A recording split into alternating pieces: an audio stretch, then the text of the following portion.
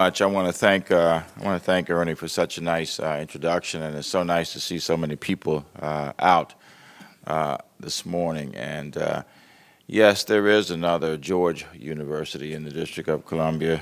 Uh, George Washington is the one I graduated from. Of course, is the one that most people talk about. and we have the dean with us this morning. I appreciate the uh, the analogy of RG3. We just hope Victor knows when to run out of bounds.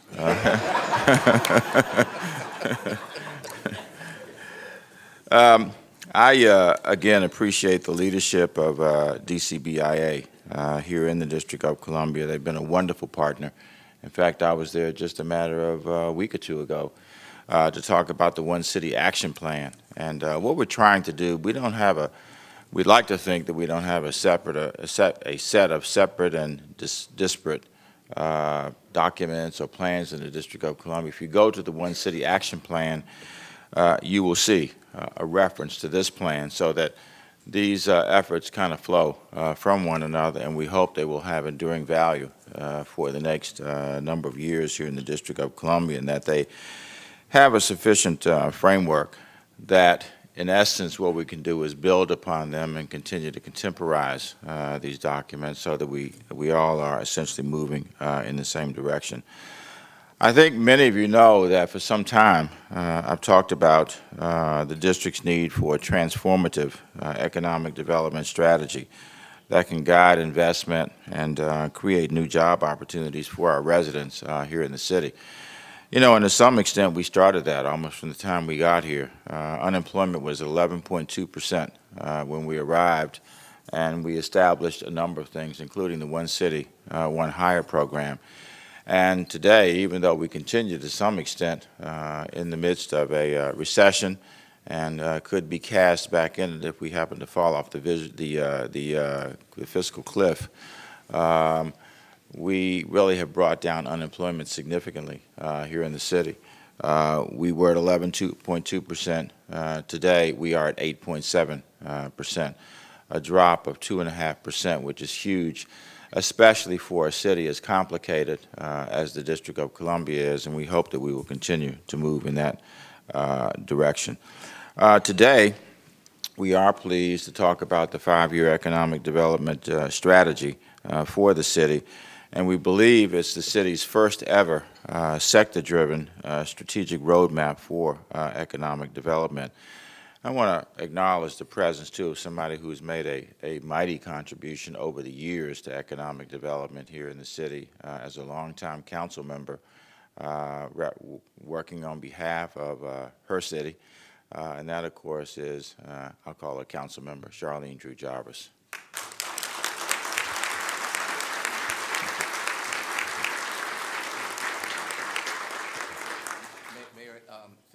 um, acknowledging her uh, because I didn't, and so I'm going to be in timeout this evening. even though even though you made that George faux pas, I'm still with you, Ernie. Yes. um, again, I know you you uh, heard the reference to the One City uh, Action Plan, and if you go to Goal Two, which I know you'll rush right home and do that, uh, you will see a reference to uh, a promise we made there, and that is uh, preparing uh, residents for uh, the new economy here in the District of Columbia, which is exactly what this plan is intended to do. of course, we unveiled it yesterday at the press briefing. Some of you were there. Uh, we're delighted to have this opportunity today, today to further explain uh, where it is we're trying to go. Uh, when we kicked this off back in June, we did it at the Carnegie Library, and certainly wasn't the first time that some effort like this has been kicked off uh, in the city. And those who've been around a long time probably were properly uh, skeptical about where uh, this was likely to go and what it was likely uh, to produce. Uh, but when we kicked it off, we had four universities with us, uh, George Washington University, which of course is my alma mater, Georgetown University, Howard, and American universities. And we had with us along the way the deans of the business schools. Uh, we have Dean Guthrie uh, here with us today, who really has been fantastic. And Dean, I want to thank you. I know we'll hear from you, but I want to thank you for being such a great partner uh, and President Knapp of George Washington University and President DeGioia and the other presidents who uh, really given everything they could to help us get to this day. Uh, but each of those deans said, we're going to help, we're going to provide um, MBA students. So we had 16 MBA students in addition to the deans uh, working with us uh, in order to be able to make this happen. So I want to thank them uh, for the work they did, and I'd ask you to give a big hand to our business schools and our universities who helped out so much. Uh, we also had a, a, strategy advisory group, and of course we had DMPED. Uh, we really worked hard to, I won't say reform DMPED, but really to recognize and crystallize and make more, more well-defined, if you will, uh, the role uh, of, of, the deputy mayor for planning and economic development uh, in the city. And some of the things in this plan don't even articulate what we've tried to do uh, in that arena, arena. Like just a week ago, this past Friday, uh, we transmitted legislation that we think will substantially reform our uh, small and local business development uh, component here in the District of Columbia and will help to define what the role of our small businesses will be uh, in the growth uh, of that city.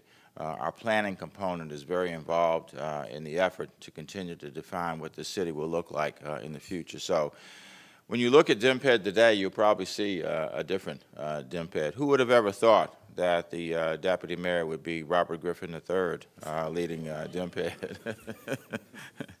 uh, in any event, uh, we have tried to make this a collaborative effort. We had 100, more than 180 stakeholders uh, who were interviewed uh, in this process.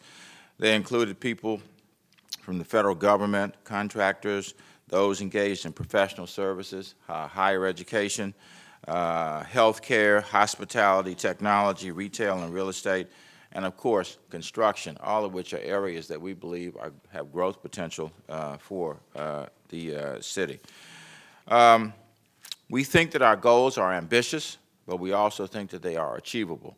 Uh, when you look at two of the, I would call them the headlines, one, one is to uh, create 100,000 new jobs in the District of Columbia in the next five years and generate a, uh, a billion dollars in additional tax revenue. And as I said yesterday, people probably saying, you know, whatever you were smoking before you came in here, you probably better get off of that.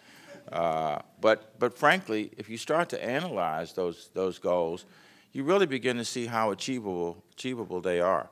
Uh, first of all, we have created in the last 22 uh, months 23,000 jobs in the District of Columbia. So do, do the math, uh, figure it out.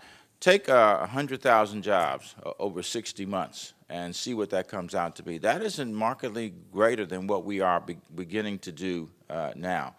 1,000 jobs a month, uh, to get to 100,000, that probably is what, about 1,500 uh, new jobs uh, a month, which is eminently achievable, it seems to me. And from that will come uh, additional revenue, obviously, and a, and a, big part of it is being able to keep revenue uh, here in the District of Columbia rather than seeing it leave. Uh, one, of the, one of the things that we'll talk about is retail leakage, uh, the money that's lost to the District of Columbia. Uh, we've estimated, the best estimates we have is that annually we lose about a billion dollars of spending to the surrounding area. And that's just one area of potential for additional revenue uh, for the city. So think about what the city will look like in 2017 uh, when we have 100,000 new jobs, we have 100, we have a, a, billion dollars of additional revenue. There's a lot we can do with that, and also that with it will come challenges that will have to be addressed in parallel uh, with this development. Uh, the infrastructure of the city will be significantly taxed uh, by all these new jobs and frankly by the new residents. We are gaining a thousand new residents uh, a month at this stage, and there's no reason why that can't continue.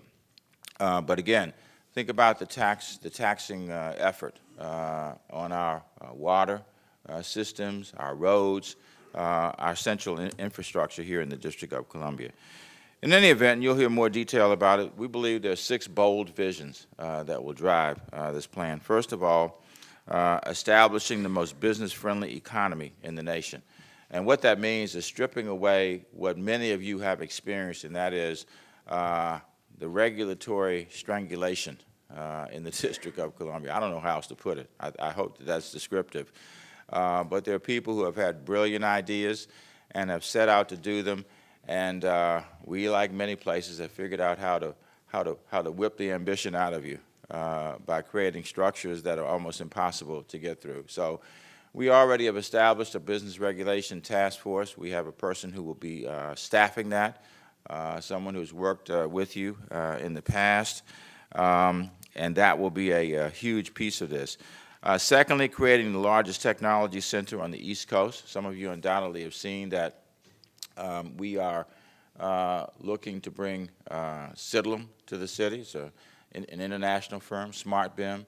And then, of course, again, as I like to call them, this you know, a small firm from Redmond, Washington, called Microsoft, uh, that we'd like to see have a, an, a, uh, an increased presence here in the District of Columbia, um, and frankly, on the St. E's uh, campus. Can you imagine Microsoft in, in Ward 8? that, that, that really is kind of unheard of. And I think the day will come when people will say, well, what's the big deal? Of course Microsoft is in Ward 8, uh, but not this day. Um, I talked about ending uh, retail leakage.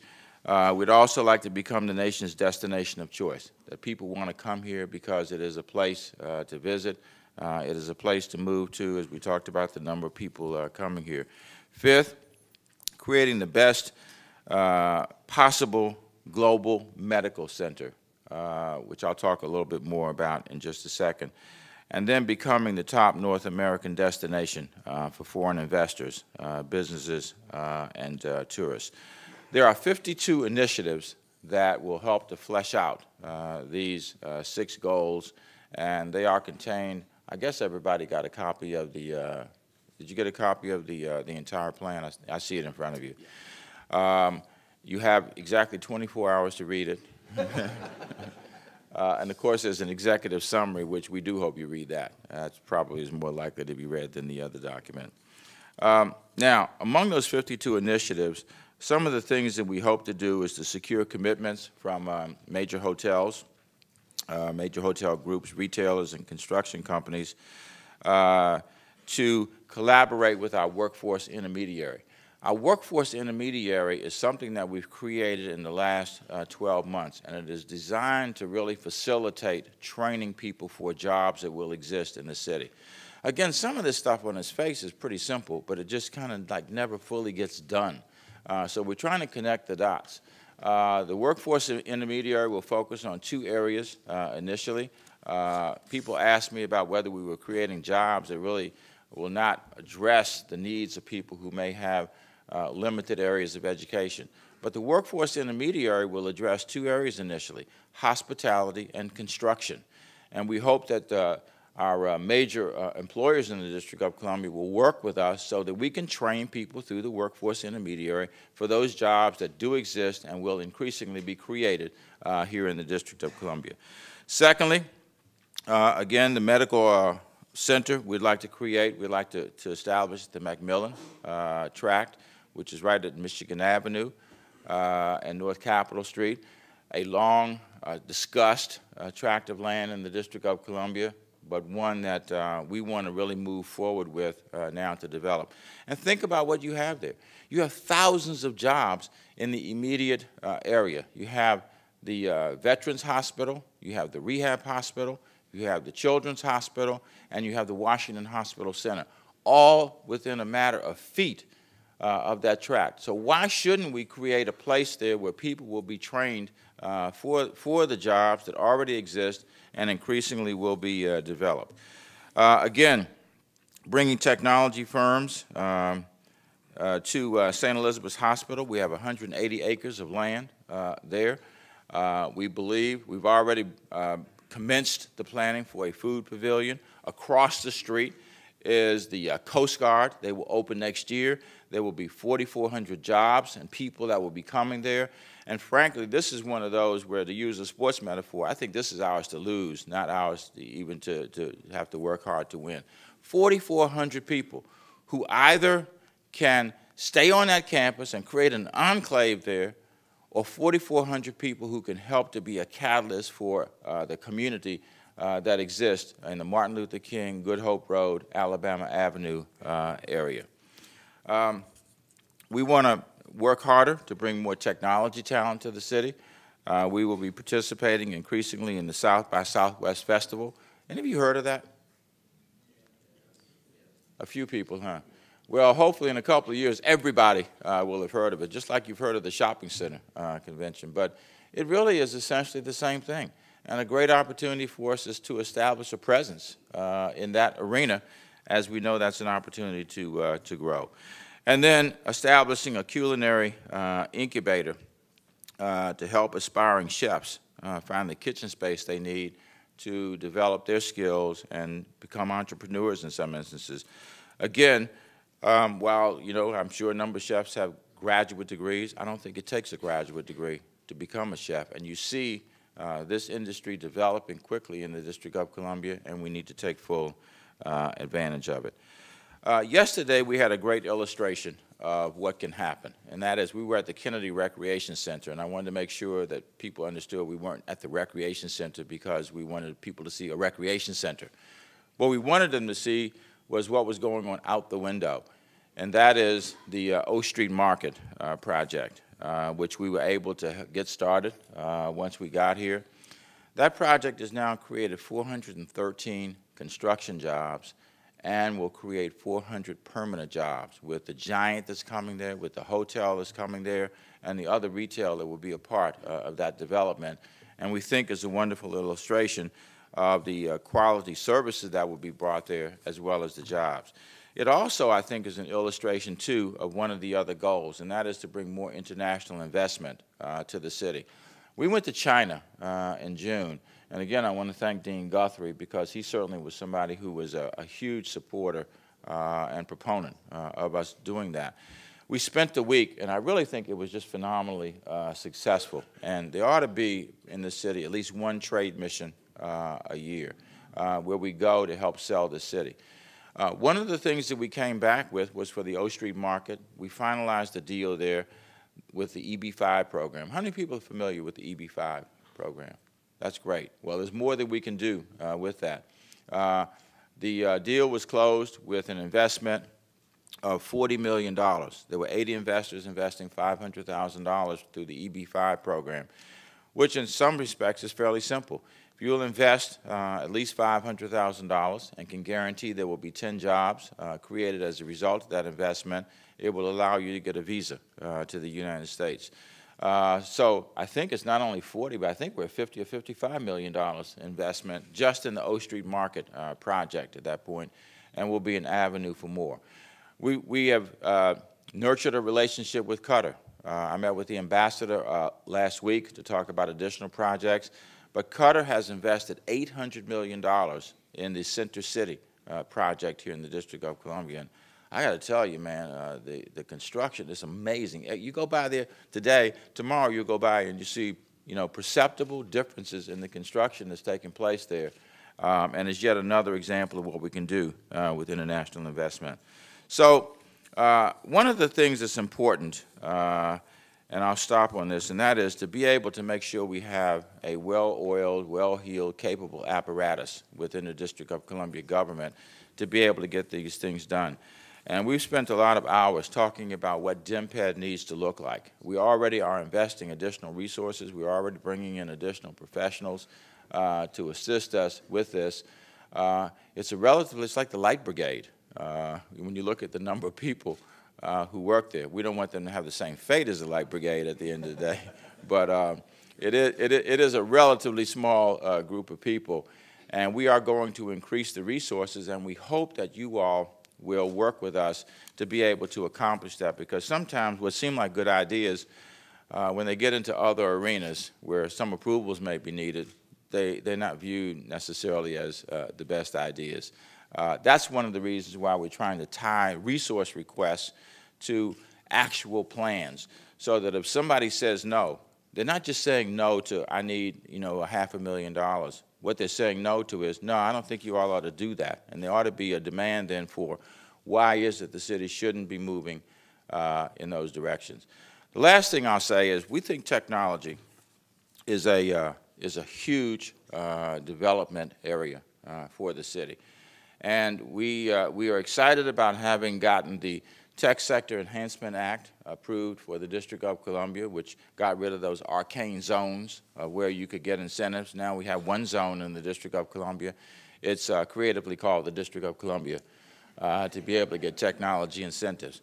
But one piece of that that we lost, that was just, it was just hugely depressing. And that is, we wanted to become more competitive with Maryland and Virginia because we've had essentially two kinds of technology firms in the District of Columbia. We've had those that got started and failed. We've had those that got started and moved. Now, if you start to do the math on that, you get a zero at the end. Let me just give you one example. When we were going through the, the work around the Technology Sector uh, Enhancement Act, we learned about a firm that started in the District of Columbia, started in the city. They moved to Virginia a number of years ago. They now have uh, 10,000 employees and they're worth $12 billion lost to the District of Columbia. Why? Because it was a much more favorable economic climate outside of the District of Columbia than it was uh, here in the city. Maryland uh, has a capital gains tax of on, on technology firms of five and three quarters percent. Anybody know what the, the uh, technology capital gains tax is in Virginia? Anybody know? Nothing. It is zero. Zero. Anybody know what it is in the city?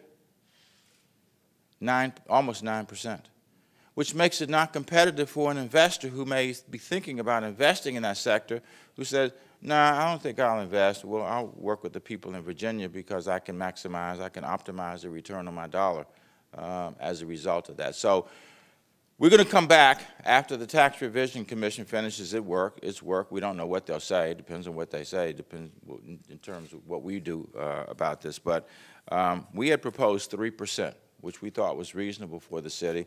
There is a great desire of people to be in the city, and I think having a 3% capital gains tax for earnings off of investments in uh, technology uh, enterprises will be very attractive for the people, uh, for people in the city. And frankly, we're getting virtually nothing now. And to me, um, uh, 3% of something is certainly a lot better than 9% of nothing, which is exactly what we're getting.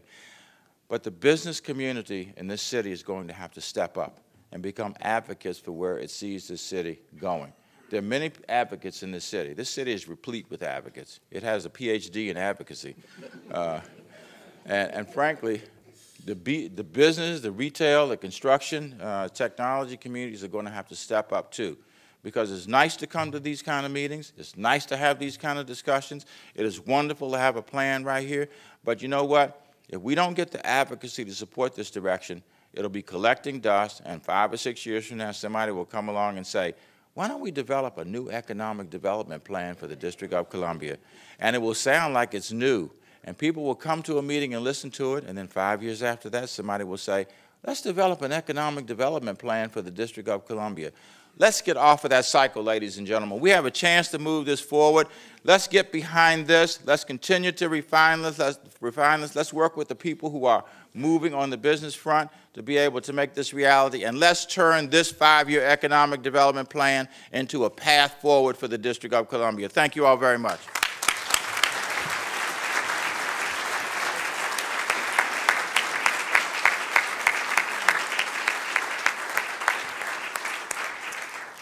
Let me uh, invite the deputy mayor to, uh, to come up. Deputy Mayor, do you want to do it here or? Okay, perfect.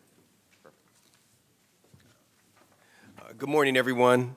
Um, let me begin by saying that I, am greatly honored to be here today. I have, um, I, I, tell the mayor all the time that I have never, ever had so much fun at work.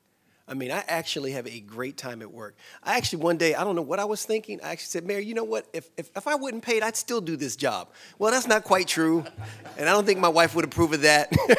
but I really do, I, I do love this work. And it is, it is hard, it is difficult, it is complex. Um, a lot of times it's not fun. I've been called interesting names um, that I wouldn't repeat to my family or my grandchildren. So, uh, you know, it, it's, it's, it's a tough job to have, but I've really never had more fun in my life. And it's because all of that comes out of a heart um, that the people have for this city.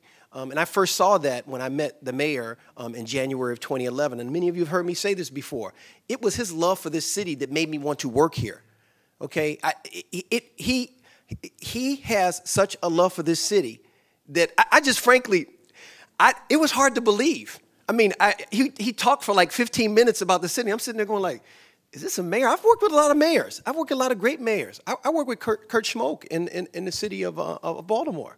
You know, I, have worked, with some great governors. I worked with Governor Glendening, um, you know, in the state of Maryland. I've worked with some great leaders. You know, Mayor Kell in the city of Long Beach. I've worked with some great mayors and great governors, but you know what? I've never worked with anyone that loved the place so much. He was born here, he was raised here, he got married here, raised his children here, developed his career here, and he is still here contributing to this city in ways that are greater each year. And I, and I tell you, when I went to his birthday party the other day, I watched people walk up to him and talk to him, and, and, and I, I could just see how much they admire him and um, how much they appreciate him. And I don't know if they could appreciate him more than I do. And I, I'm very thankful that he invited me to be his deputy mayor. And I just want to take a moment to recognize our great mayor, Mayor Gray of the city of Washington, D.C. And I just want to take a moment also um, to really uh, thank uh, Charlene Drew Jarvis um, because um, she, early on, she kind of buttonholed me and pulled me real close um, in her kind and gracious way. And she said, Victor, there's some things you're not doing. And I went, uh oh. And she kind of went down this very clear list. Um, they all were related to workforce and education. Um, and I, I, said, yeah, you're right, I'm not doing that. And I had been on the job like 45 days. And I go, you know, I'm going to need just a little bit more than 45 days to undo something that took 45 years to create. So if you could just bear with me, and she's been very patient with me, and she now knows that we are serious about our commitments because we've moved forward on some of them, and I appreciate your patience. And, and I really want to beg the patience of, of, of a lot of you in this room because um, that's what we're going to need to get through this process. Um, I want to thank Ernie Jarvis for inviting us here to talk about this. This is not, um, you know, this is not you know the the the the the, fun, great, you know, kind of you know really cool topics that a lot of people talk about. Um, but this is the real work that needs to be done. Um, he realizes that. He gave us this platform, and, and, I want to take advantage of it. And before we go any further into the program, I want to talk about what we want to happen when this is over. The mayor gave you a call to action. I want you to move on that action. Um, I received about 10 emails this morning, and I was responding to them before I got here. Actually, Ingrid, my executive assistant in the back, was, was calling me, asking me where I was. I was quietly across the way in the courtyard answering these emails, telling people, directing people to David Zipper and Lena Fang. These, please stand up. I want them to see you guys. These are the two people that are going to help create the working committees that are going to move these initiatives. I want, after this, I want you to give them your business card with the initiative that you're interested in working on specifically. I just want you to do that because that way they can contact you and get you to work because we're not going to do this by ourselves. Oh, no, this is not a city deal. No, this is our deal. This is the public sector, the private sector, the universities, and the city working together. I'm going to take a moment to um, also thank um, Deborah Salzberg, uh, Ratner Salzberg for her tremendous contribution to our affordable housing um, um, strategy that's going on right now in parallel to this. That's housing, this is economic development, so please don't ask any housing questions. But she has been a tremendous um, um, advocate, a tremendous supporter, and she, she really um, stepped up um, to be part of this panel um, by a, a, personal request from me, and I deeply appreciate that. And um, I feel like her contribution, and I don't know if you guys have seen what she's doing in Capitol Riverfront, but it's definitely visionary. I don't know what, if you've seen what they've done at, at Biotech Park in Baltimore, it's visionary. I don't know if you've seen what they've done in, in, in, in Boston, um, and actually in Cambridge, uh, next to my alma mater, MIT. It's, it's phenomenal. But that's the kind of, of visionary leader that we have, not just here, but in this audience. And I want to recognize you for your tremendous contribution to the city.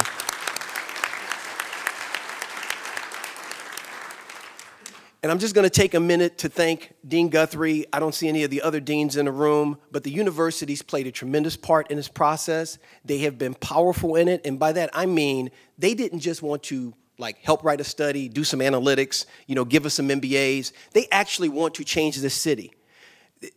Dean Guthrie told me, Victor, I want to make a difference. I want my business school to make a difference. China happened because he wanted his business school to make a difference. This study is done because he wanted his business school to make a difference. Uh, Dean Thomas yesterday from Georgetown, Georgetown, actually said the same thing. He wants to make a difference. Um, Howard University, American University, they all want to make a difference. We have great partners, but we have to pull them um, to the place on the table where they can contribute the most. And, and that's what he's done. And I want to thank Dean Guthrie for his great work and the contribution of his team. Are there any MBAs in here? In the, the, the participants, please stand up.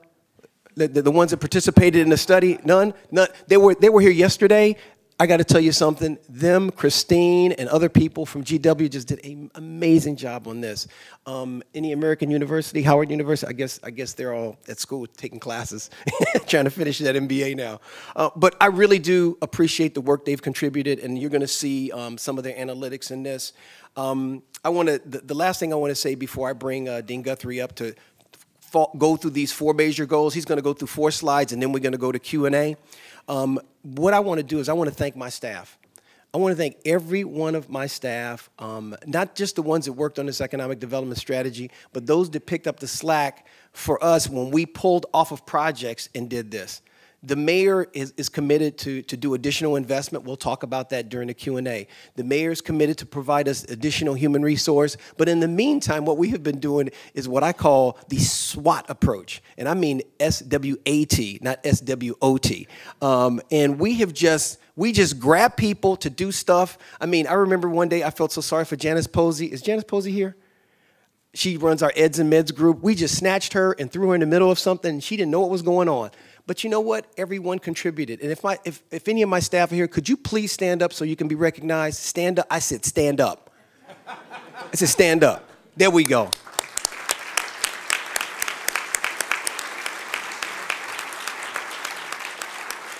And as you can see, there are only four in the room because the rest are at home working. and with that, I'm going to turn it over to Dean Guthrie to walk through these four slides, and then we'll go to Q&A.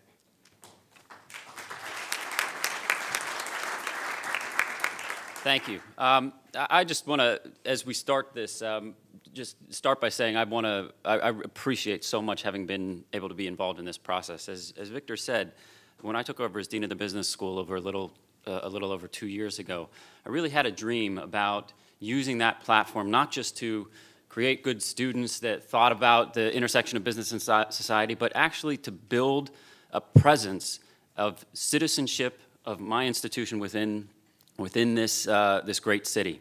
Um, and, you know, I think that, that we were given that opportunity, and for me, it was just, uh, I, I, couldn't be more thankful. So uh, the, the thanks goes both ways. Um, just as a, a, way of walking through these points that, that, um, are, that the Deputy Mayor has put up here, uh, I'd like to take the narrative back a little bit because um, it tells a little bit about how this evolved and what kind of work actually went into it. And I'm going to start with the, with the bottom point because um, it really is an important thing, not just for the universities to play a role, but as the deputy mayor and the mayor said, uh, it's important that every institution within this community really come together to help, help this plan come to fruition. And the, the, the, mayor often says that this plan was kicked off in, in June, but I actually think for me, this plan was kicked off two years ago in December of 2010, before the mayor was inaugurated. Steve, President Knapp, uh, and I attended a, a uh, one a symposium like this, uh, and as an academic, I often get a little bit uh, cynical about things like this because it seems like you have lots of time talking, and then what action actually comes out of them. And the mayor threw down a challenge then, before he was even inaugurated, and he said, we have to come together as institutions and really think about how we are going to move this forward. And I remember him talking about uh, uh, an economic development plan then, uh, and job creation that was really a critical piece. And I sat there thinking, what is my institution going to do about this? How can we actually contribute? I don't know how we can contribute, uh, but we're going to do our best. And Steve Knapp and I committed at that point to channeling university resources to be the best citizens that we could be in part of this process. Now, over the course of the next year, I got closer and really became a friend uh, uh of the deputy mayor, and I think initially I was a, sort of a, a, an annoying gnat buzzing in his ear saying, what, what can I do? What can I do? Let me help. Uh, but eventually, uh, he started to, to, to, warm up to the idea of, of actually really channeling some of the things that we can do. We spent some time in China together. uh, and introduced him to some of the folks I know there. But this really began when he asked us as the business school to start thinking about an economic impact model that would really take a deep look at how you assess the, the impact of things, not just in terms of numbers of jobs created, but in terms of the multipliers that happen when you do things like job creation in a given area. So to give you a couple of examples, um, you know, the mayor talked about the 800 jobs that are going to be created in the O Street market. Uh, what, you're, what we're interested, though, is not just in the 800 jobs that are created, but the net present value of those jobs five years out. And that has, is based on multiplier effects that happen through the amount of money that's spent within the city. So those people that will shop in that supermarket that are, that, that's going to be at the bottom of that, that uh, construction site. Um, those things then have a, the, the beautiful recurring cyclical effect of consumption, which breeds to healthier economic development, which breeds to more consumption, and then you have a much healthier process. Those things are, there's a whole science in this uh, of economic development, and it's not easy to get the model perfect, but the deputy mayor charged us with trying to help figure out how we could think about those issues in a much more complex way. So we could, in some ways, help to analytically depoliticize resource allocation and just really try to analyze exactly what would, what would happen in a given set of issues. So the universities came together uh, to really try to think about that. Uh, and then at some point when we were in that process, the deputy mayor said, look, we have some resources for an economic development plan.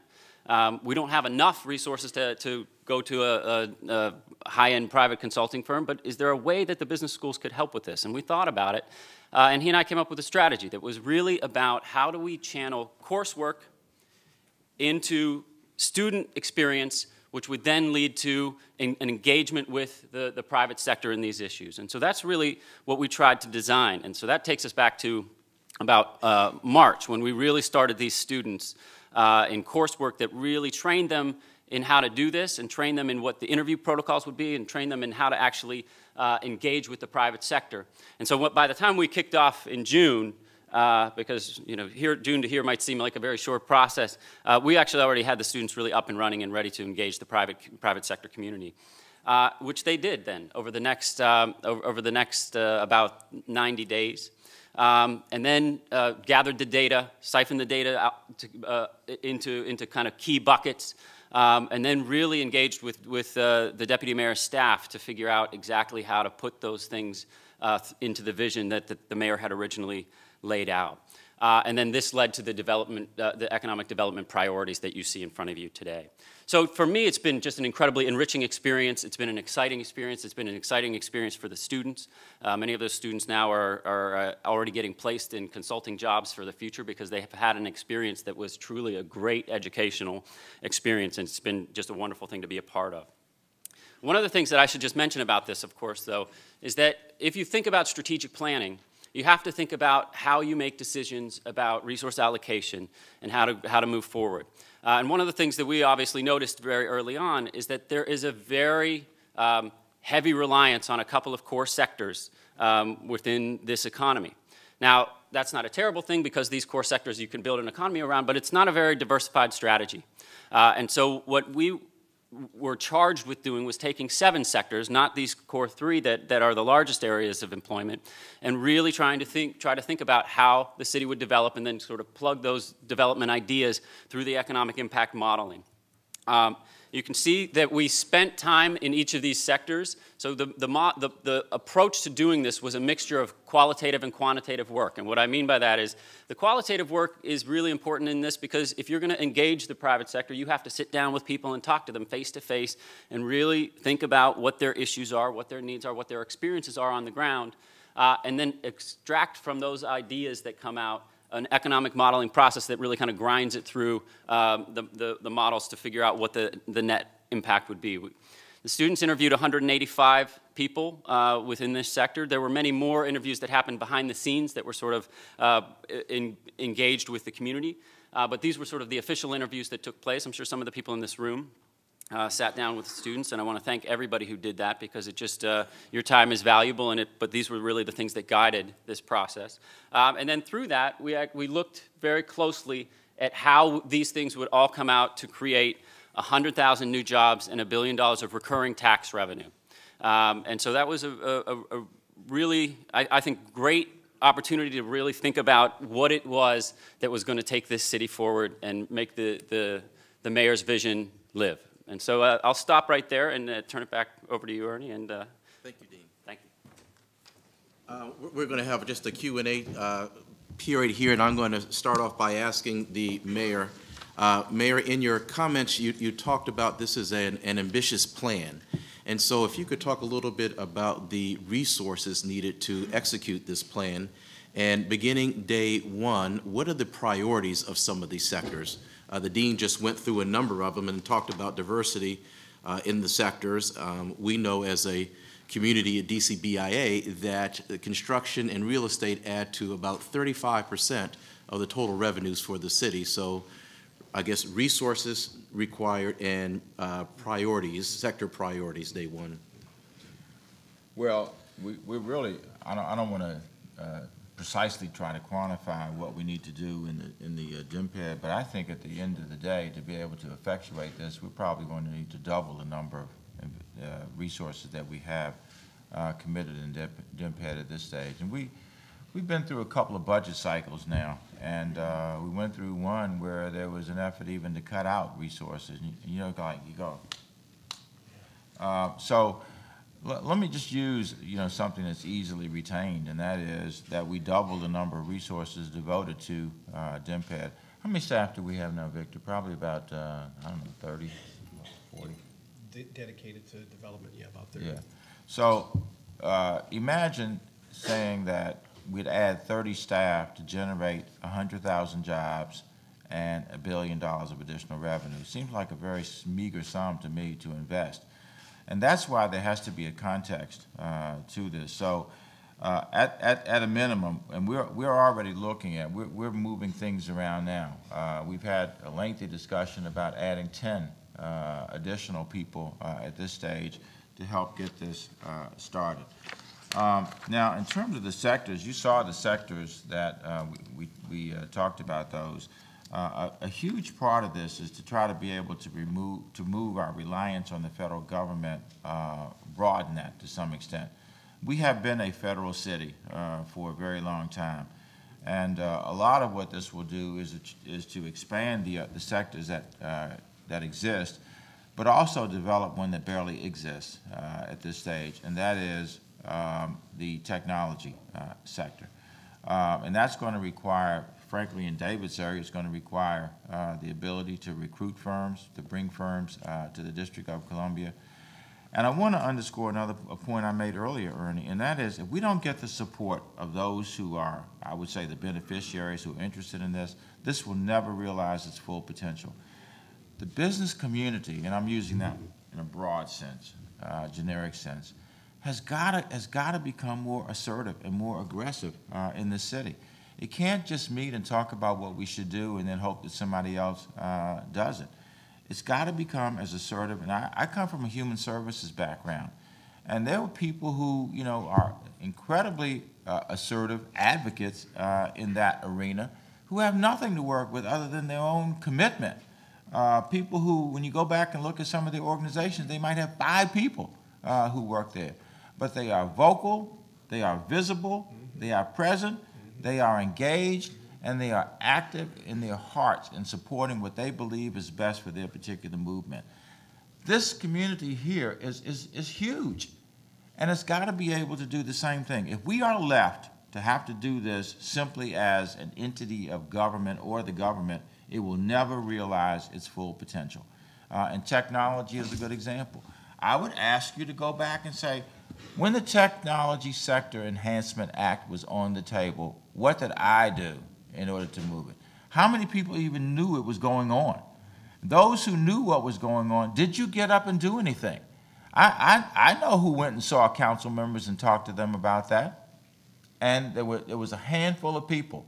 And not, at the risk of being, uh, at the risk of being offensive, those who did it were easily ignored because it was such a small handful of people who stood up. And then at the end of the day, people go, mm, mm, mm, isn't that terrible? Boy. Well, you know what? That, that day has to be over because if it's not over, we'll be doing, we'll be doing a lot of hand wringing uh, in the future. So that has to be one of the resources too, Ernie. It has, there has to be a resource in the community. One of the things I'm especially pleased with is the fact that the university community has stepped up. We've often talked about the university community being a resource to the city. Here is a tangible example of the university community being a resource. And there is much more that can be done and I think will be done.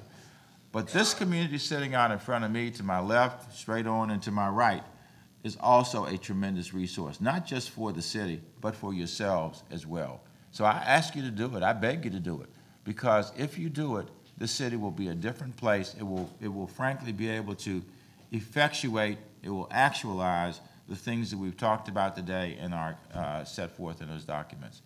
You know, we even have, have, have worked to try to figure out, you know, where these 100,000 jobs would be. Half of them would probably be in real estate uh, and construction.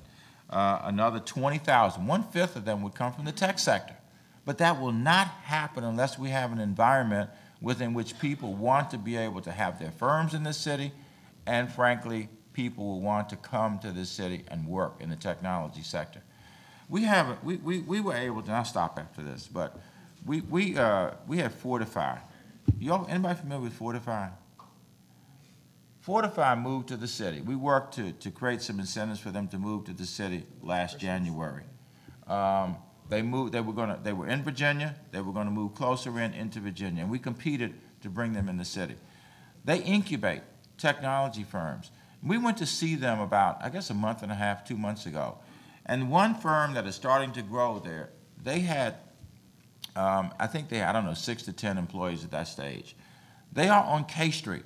They're probably about uh, five minutes from here. Every person working for that incubator lives in the District of Columbia. Now, if they had gone to Virginia or stayed in Virginia, guess where those people probably would have lived who were working for that incubator? In Virginia. It is not rocket science. It is not nuclear physics, ladies and gentlemen. It is commitment and everybody kind of help moving in the same direction. So if I sound like I'm engaging in exhortation, that is exactly what I am doing, okay? I have been, I have worked in the advocacy community and human services. I have seen the Light Brigade change things in ways that, that were unimaginable. And you all can do the same thing. And you have a choice to be the change agent or watch the change happen. Um, Mayor, uh, message sent, message received. um, uh, uh, DCBIA will certainly be there to support your initiatives and support the initiatives of the five-year economic development initiative. Um, I'm going to bring Deborah here, but since the mayor's time is so valuable, we have him for just a short, short period of time.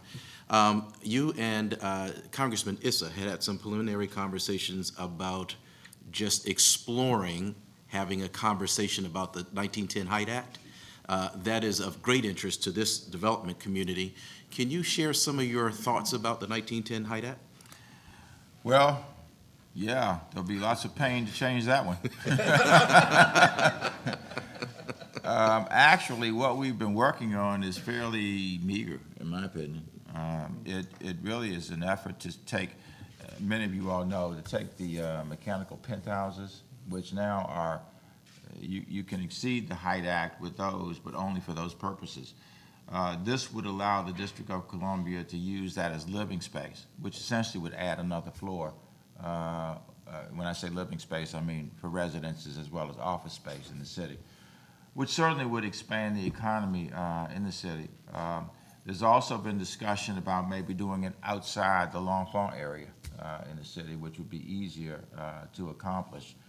Um, but we've already seen lots of opposition, uh, even to this very small change of using the mechanical penthouses uh, for purposes of growing, uh, you know, growing the uh, capacity in the city. And you can imagine what some of the concerns are that, well, this is the camel's nose under the tent, right?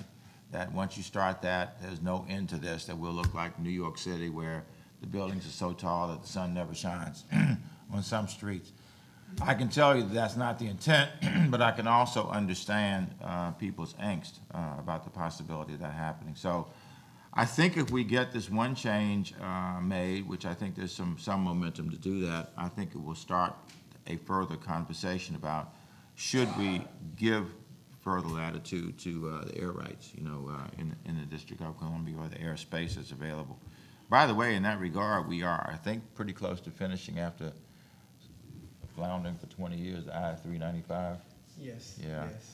That, that development, that's, that's a 2.2 billion square feet, 2.2 million square feet, billion, boy, that'd be big, wouldn't it? 2.2 million square foot project that will, that will start to use the space up, you know, that ugly area up uh, the tunnel, Third Street Tunnel and, and the like. Uh, We hope to be able to finalize that in the near future, which again, is not exactly the Height Act, but it certainly will begin to use air in, in a little more creative way than we've used in the past. Uh, Mayor, I will tell you, from DCBI's perspective, uh, we are aligned with our thoughts about the Height Act, that to take mechanical structures and being able to use them for human occupancy, swimming pools, conference centers, the like, and so we, we'd like to work with you on that. Uh, Let me bring in Deborah Ratner Salzberg, who has a number of very large-scale, complicated projects within the city.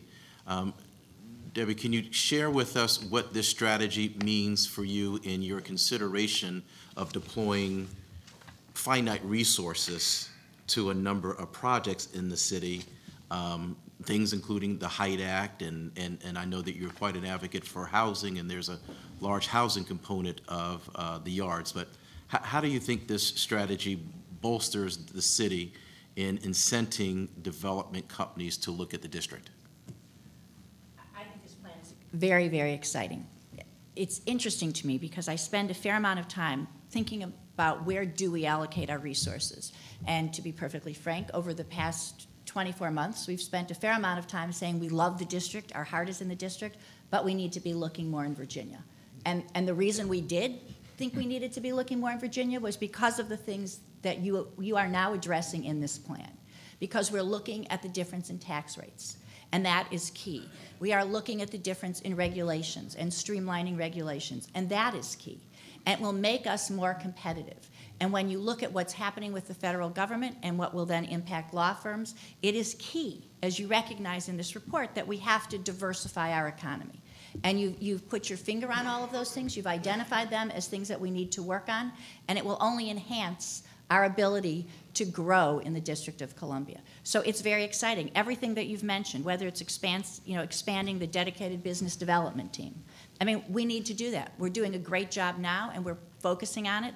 But I used to sit there and say two years ago, you know, Virginia's out there and Maryland are out there, and they're really they have a concerted effort, and we don't have anybody focused on it. And now we do, and not only do we have one person, we have a whole team, and we really are focusing on that, which is terrific the height restriction, streamlining the regulatory process, talking about the ambassador program. The ambassador program at DCRA is phenomenal. I have been very fortunate in that I have a very large scale project. It came on strong during the recession, and everybody wanted to help us get it done. So I really didn't realize how hard it was to get a building permit in the District of Columbia and what one had to go through because I got so much help. Well, life's different now. There are a lot of people building, and when I go out and try to get a permit for one little building now, and I mean little, um, it- it's not so easy, and I see what the real world is like. So the fact that there will be these ambassador programs, you know, at and they will expand to DDOT and to DDOE and, and DC Water will be incredibly helpful to all of us doing business in the District of Columbia.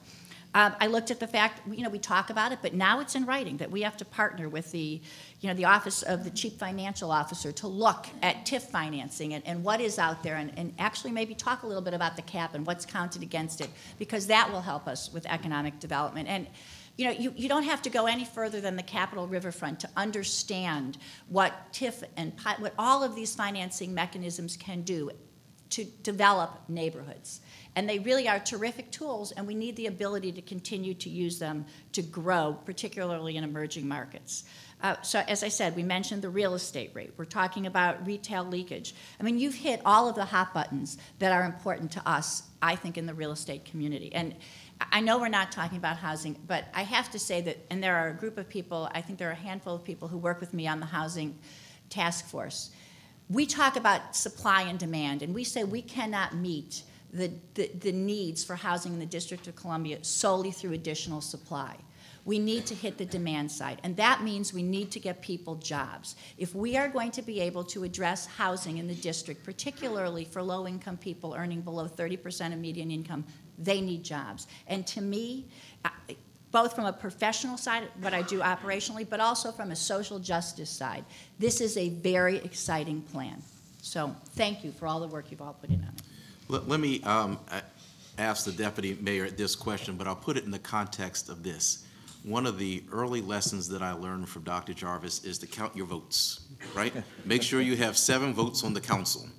Um, Deputy Mayor, how can you use the economic impact model that the dean has created for things like the tech initiative, the mm-hmm. zero capital gains? Mm-hmm. And, and, and I would imagine that a lot of this strategy requires council approval. Mm-hmm. So how, we were disappointed in the business community that the council didn't pass the zero cap gains legislation last time, but how can you use that economic impact model to help shape policy? Well, well, well, first of all, you need to know that it, economic impact models are used by some economic development agencies around the country.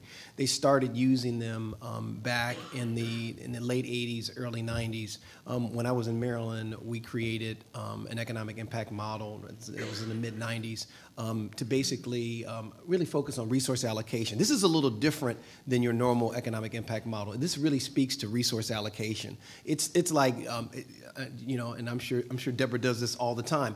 Do I invest in Capitol Riverfront or do I invest in Virginia? What what are my same money? What are, what are my returns? I mean, that's really that's really the question. That's essentially what this this model does. And in in in I was involved. I actually co-created this model with with an individual uh, from Maryland, an economist from Maryland, for the state of Maryland. Well, we've done a similar model, and this is actually um, the District of Columbia's model, um, and we have um, allowed the the um, the, the, the dean and his and, and students there to actually use it to do the analysis. So it's ours. It's ours to use. It's, it's our assumptions. It's, it's, it's our approach. Um, now, in these analytics um, are, are many are many factors. Uh, capital gains is just one. It, it, it is really looking at what is my investment, where it's going, how can I get the highest return, um, and that speaks to uses, that speaks to market opportunity, that speaks to a, a, lot of different issues. So it's just that would just be one element, and it, it, it, certainly could, um, you know, help quite a bit in terms of the, the argument. But just on the on the basis of a, a competitive environment, even even without the analytics, I think the mayor and the mayor has made this point before, and I think it's, and it's a very good point, which is you know um, if these people if people don't locate here and they move to another place, that's zero. We you know you know and, and, and you know nine percent, eight point seven five percent, or eight point nine five percent of nothing is nothing, and and so there there's a basic, and and and I think it speaks to sometimes you don't have to do analytics. Sometimes you just need to take the time to explain um, from a different perspective. Now, we went in, we spoke from our perspective, from the government perspective. What we really needed, and the mayor spoke to this, was the, the private sector. I'm going to give you one example that was hugely effective Uber. Do you guys remember when Uber was trying to get their, that legislation through? I was walking down the hall one day and I heard a councilman, and he was like screaming at the top of his lungs, I got 5,000 emails from uh, text messages from those people from Uber. What the heck is Uber? Well, you know, when that was all over, it was very clear to him what Uber was and how he should vote. And you know what? I'm sure they used some little app to do this. Um, can't we get that clever? I mean, you know, I mean, can you imagine if all of you guys used an app to speak your voice on, on the 3%, I think that's way more powerful than all the analytics we could ever do because sometimes you can't convince with numbers. Sometimes the numbers have to be numbers of people, not, not data numbers. So, so I'm just trying to you know, get some clarity on, on that one in particular. But on deals themselves, what we invest in, it is a tremendous um, instrument in terms of how we select and do deals, how we focus on deals, and how we decide on which deals to do. The mayor mentioned more resources. We will have more human resources, but it's only because we will be doing more projects. Um, we have currently discussed, and I think Jeff Miller, our director of real estate, is back over in that, that part of the room right there. You might want to talk to him afterwards. Uh, the mayor has uh, approved for us to, um, to now um, look at um, somewhere between 30 and 35 additional deals uh, to be rolled out over the next 12 to 18 months. Um, you know, this is a lot of work. But you know what? It creates a lot of opportunity for the people in this room. Um, I don't know how many of you attended the July 27th uh, rollout event. Um, we had about 700 people attend this event at Lincoln Theater where we rolled out nine RFPs that we did this past fall, and actually we still have three or four of them coming out. We're going to do the same thing in the spring. Um, right around the beginning of April. We're going to do it again. We want you to have a pre-look. We want you to see these deals coming. We don't want you scrambling it at the last minute. You guys have you have important investment decisions. When I when I was on the private side in private equity, all I thought about was how do I strategically place capital to get my return so that my exit matches the returns that I've promised my investors? You guys make those decisions every day. All I thought about is how do I reduce risk so that I have some certainty going forward? That's what we're trying to do for you. Reduce your risk, give you certainty, help you anticipate. Um, and, and those things will help drive your returns. So I, I, our goal is really to, to, to use these models and to use, you know, um, the, the little apps and things like that to, to make sure that we move in the right direction. So. All right, let let me ask the mayor and deputy mayor one more question. We'll go to the dean, and then I'd like to open up questions to our, our body. Uh, We have a very robust CBE and LSDBE community in the district. Um, If I were a CBE or LSDB, wh- what, what benefits would uh, the strategy bring to that community? Well, maybe, I'm going to ask Victor to talk about the uh, legislation that we just uh, transmitted. We've been working now for several months on um, trying to reform uh, how CBEs get the opportunity to do business in the District of Columbia. Um, What we have tried to do, frankly, uh, with this legislation is to try to make sure that a District of Columbia CBE is in fact a District of Columbia CBE. Uh, Isn't that creative? Uh, Isn't that innovative?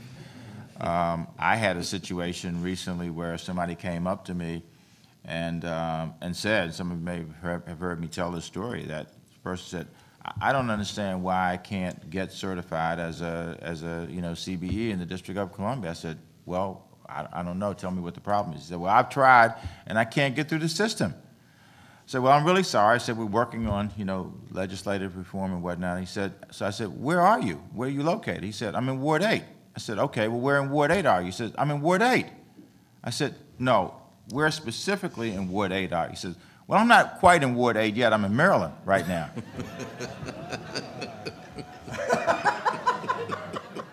so I said, you know what?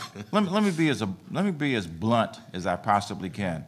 I will do nothing to try to have Maryland, Virginia, or any other state CBEs become certified in the District of Columbia because we want people who are in the District of Columbia to do business in the District of Columbia. Isn't that a radical idea? uh, I said, when you, when, you, when you move into the District of Columbia and you have your principal you know, place of business in the District of Columbia, then you come back and see us at that stage. So frankly, one of the things I think we can do is to make sure that we have legitimate CBEs in the District of Columbia whose address in the District of Columbia is not a post office box. It is not some front. Uh, we've seen problems with JVs. We hope that this legislation that we have advanced will clear the way uh, for CBEs to be able to more easily do business legitimately in the District of Columbia. Uh, the legislation, that I think is sub, I don't know when the hearing is, but there's a hearing coming up because we hope to work with the council to get this moved through before this legislative uh, session ends uh, at the end of December. And so, at the risk of being, and this will throw me back, being a broken record, how about a uh, flawed CD? uh, might I suggest that you all testify uh, at this hearing? And uh, hopefully you'll support the concepts that are contained in there. If there are ways in which we can improve it, then, you know, say so. But if you don't show up, if you don't participate, the assumption is that you don't care and that you're not a force. And I can tell you, I, I can tell you from having been in the advocacy community, having been a council member uh, for, uh, uh, you know, for two years as the Ward 7 member, and then four years as the, ch the chair, whether you like it or not, that is the assumption. And if you don't show up, the assumption is you don't exist uh, from the perspective of making the case. So I think the best thing we can do right now for CBEs is to make sure that there is legitimacy to the CBEs that want to do business in the District of Columbia, that joint ventures, for example, truly are legitimate joint ventures in the first place. And we think that this legislation uh, accomplishes much of that uh, as we move forward. The mayor covered um, um, you know, almost everything to a T. There's, there's one other part I'd, I'd like to mention, um, which has to do with implementation. We currently only have, I think, one person monitoring over 1,100 companies in the city. Um, I don't know about you guys, but you know, it's difficult for me to make a thousand phone calls in a year, okay? So um, this is actually physically calling on and going through the records of an agency, of an organization to check whether or not it's a CBE. The mayor has had this experience. I have had this experience. Somebody actually came into my office with a business card that had an address um, on it that was in Ward 8 and then told me that their business was really located in Maryland. So it, it it's just Probably a, the same guy. Well, it's just astounding. And he had the same problem. I can't get nurse certified in the District of Columbia. So, so we really need to get the manpower out there, and the mayor has set aside um, enough funding for nine additional slots, which would break it down to about 70 to 80 uh, companies per person, which is actually a realistic. You can do two or three visits a year and actually check and see if anything's changed, and you know all the things that we say that we are supposed to do in the legislation. So the manpower will be behind what the mayor is talking about. Uh, Thank you. Um, Dean Guthrie, let me ask you, as the technology sector in the district starts to blossom, what does a urban campus look like uh, in the district? And eh, eh, do the universities have the ability to leverage their occupancy and their presence to kind of spark uh, economic development, especially in some of the emerging neighborhoods? Um, so one of the things that's so exciting about this plan and this this moment in time for the, the district is really the opportunity to have a deep engagement across these sectoral lines. And so we really view ourselves today as not just the place where education is happening, but as as an institution that is again a, a citizen of this uh, of this city and, and can contribute in a number of different ways. Before I answer your question specifically about DC, I should say that the, for me, the most inspirational economic development story, and having studied some of this over, over the years, um, was the city of Pittsburgh. Uh, it was decimated from its loss of jobs in steel uh, in, the, in the 70s. And in the early 80s, they looked around and they said, well, how are we actually going to reconstruct jobs in this city? Uh, and they said, well, we have two great universities. One of them has, is the University of Pittsburgh Medical Center is the largest employer in the entire city. Um, and the other happens to be really good in technical engineering, right? So how do we actually bring these two things together, not just to create jobs for doctors or people in the in the uh, the high-end professional services, but how do we rebuild an economy?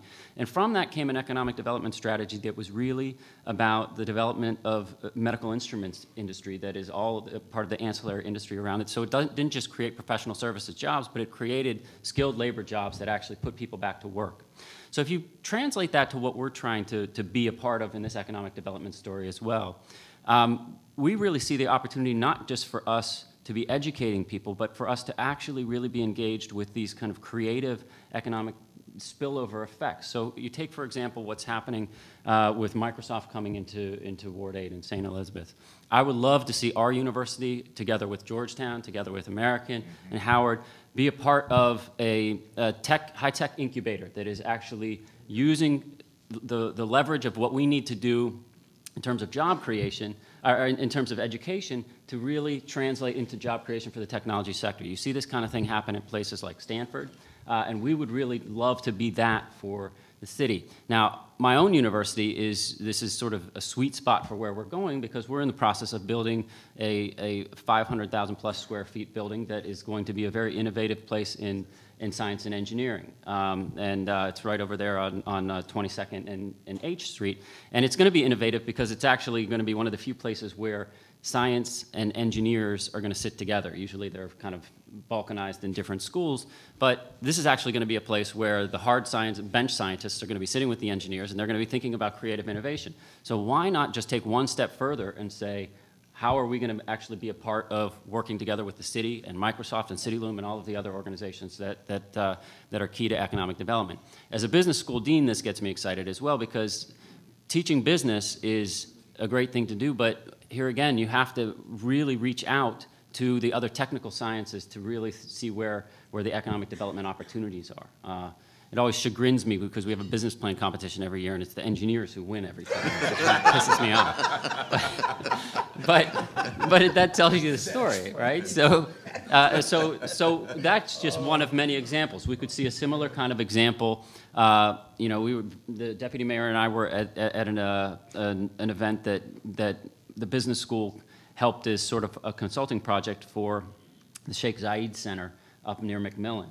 uh, because Children's Hospital is the pediatric group, group that operates with the, the GW um, Medical Faculty Associates. And the opportunities there to build a, a medical hub that is innovative and powerful, you know, the universities are going to have to be a part of that, and we're just thrilled with the possibility of being a part of it. You know, if I could just add uh, to one of the, the uh, several important, important points that Dean Guthrie made. Um, When you look at what's going on, um, what, what we plan to go on at St. Elizabeth's, um, this is where you start to connect the dots. Uh, We are, some of you have seen the uh, animated uh, video of what we're planning to do with Ballou High School. Uh, We're investing $120 million in building a new high school, and a concentration there will be STEM uh, science, technology, engineering, and math. We're creating a presence at St. Elizabeth's, hopefully, uh, well, I won't say hopefully, we're going to, uh, of technology, a concentration.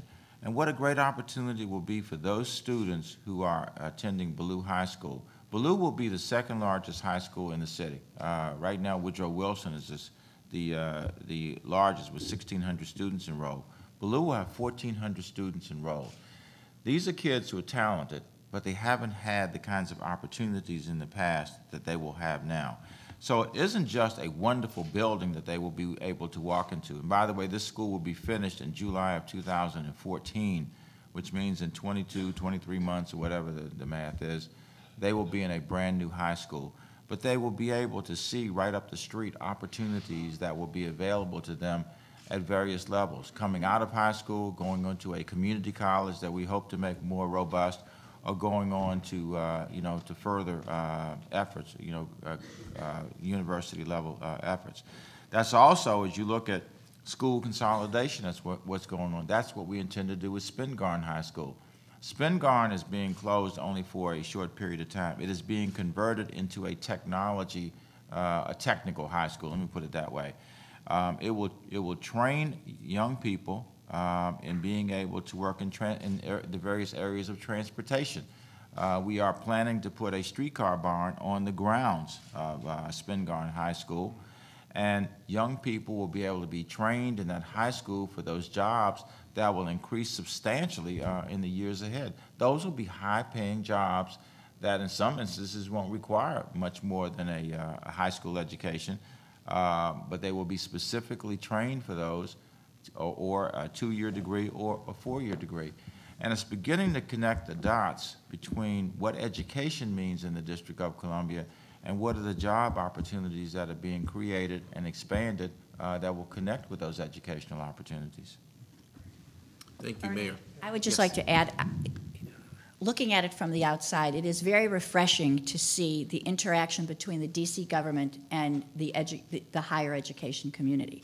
I mean, oftentimes the higher education community has been looked at not, not as a partner, but as somebody who doesn't really contribute to the District of Columbia in terms of the tax base. And we forget that they are the third largest employers in the district, and people shop, people eat, people live in the District of Columbia. But more importantly, they offer a tremendous commitment to the District of Columbia and an ability, as we can see from this report, to work with us and enhance where we are going in the district. So I, I think this in, in and of itself is tremendously refreshing and wonderful to see that, you know, that the government is working this closely with the institutions of higher education.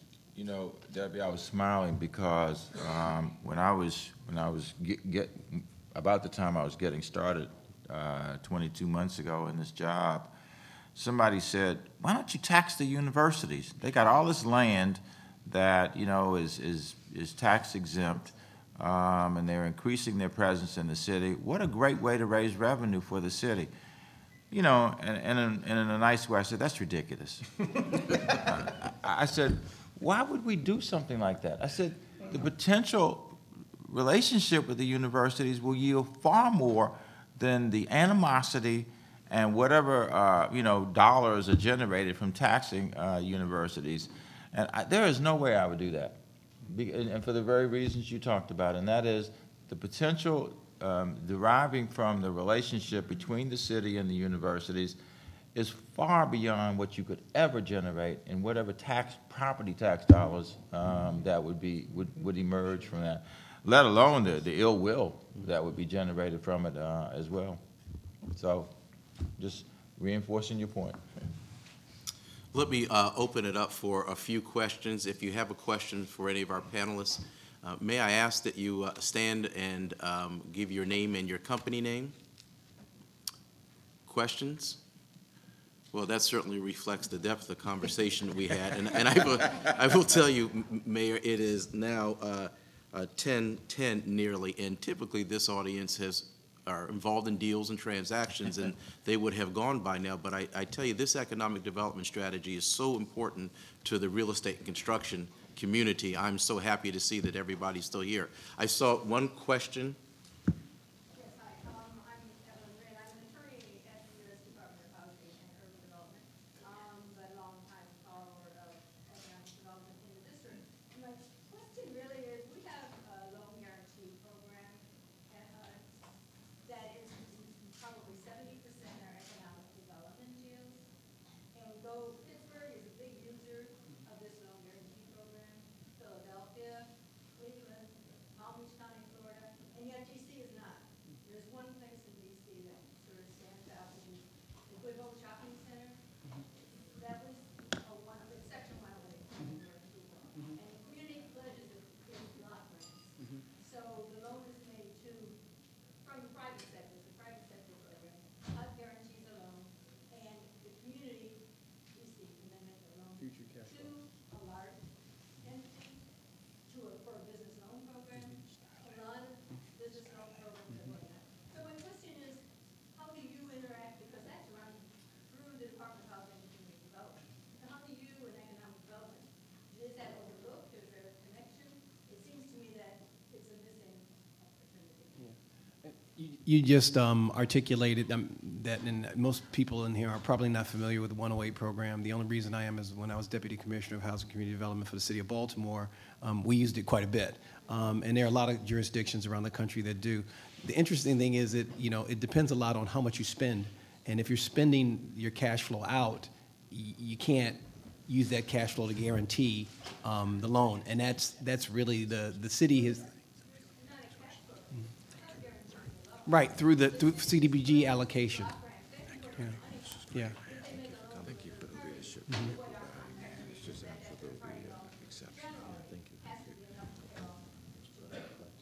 Thank you. So it's not that the city puts out money necessarily for budget block grants, nothing is put aside. It's just that how to have access to those block grants, if there's a payment default, that's it. Yeah. So I mean, it doesn't take additional money out of private We should probably sit down with you um, and uh, my Director of Housing and Community Development, Michael Kelly, and, and talk about how we could use that program.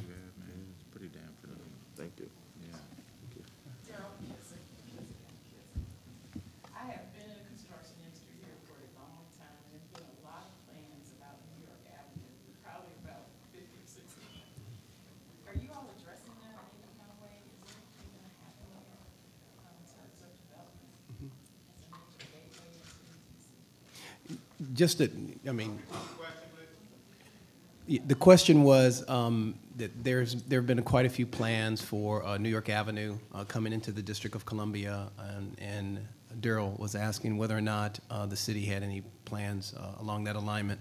Um, As you probably know, most of that is owned privately, um, and where we've been able to do, um, actually working with HUD um, and and others, we've been able to, um, after 28 years, actually, the mayor, after 22 months, um, has almost completed the first, um, you know, uh, Costco in the history of the city that will be located there. That shopping center had been in the planning stages. I, I saw some plans that were dated, you know, quite a while ago, but let's say that um, it is, it is very difficult because most of it's privately owned. That was a redevelopment site. We had some influence.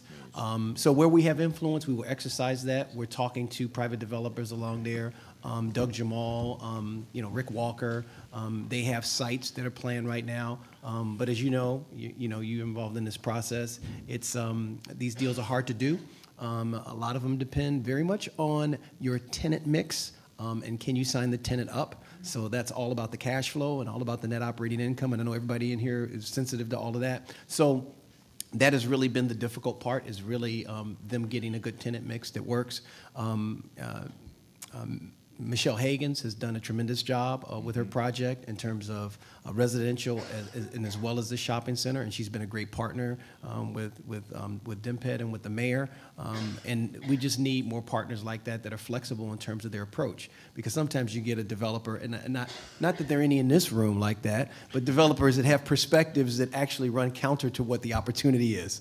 Um, and what we try to do is we try to match the opportunity with our resources. And um, that's happening. It's just, a, it's just a slow process, especially when things have been in play for 30, you know, 20, 30 years. So, You know, uh, since, since Victor mentioned uh, the Dakota project and Costco, think about it from the perspective, too, of retail leakage. Uh, How much money, you know, because that's right on the perimeter uh, of the city, and that's what we want to do more of also, and that is, uh, that Costco is going to attract people in the city who, who, uh, you know, normally go to a Costco somewhere else because we don't have one uh, in the city. Uh, It will open, by the way, on November 29th, uh, in just a matter of a couple of weeks. But think about the people, not only retail leakage, but retail attraction, for want of a better way of putting it, and that is people who live in Maryland who will stop there coming into the city or going out of the city, who normally now don't spend anything uh, in the city. So this is also an opportunity for us with this, this kind of strategy to become more competitive for business, not only the business that lives in the District of Columbia, but the business that comes into the city every day. We- We're going to have to wrap up the program now, but I just want to thank our panelists, and I want to thank the, the mayor and the deputy mayor. This is a game changer for our industry.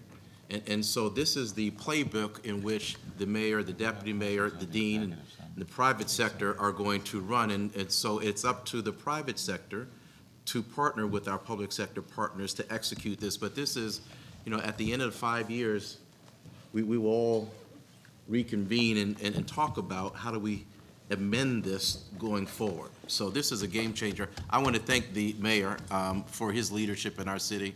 Uh, He gets business, which is, which is wonderful. So thank, thank, thank you to our panelists and thank you to our audience for coming.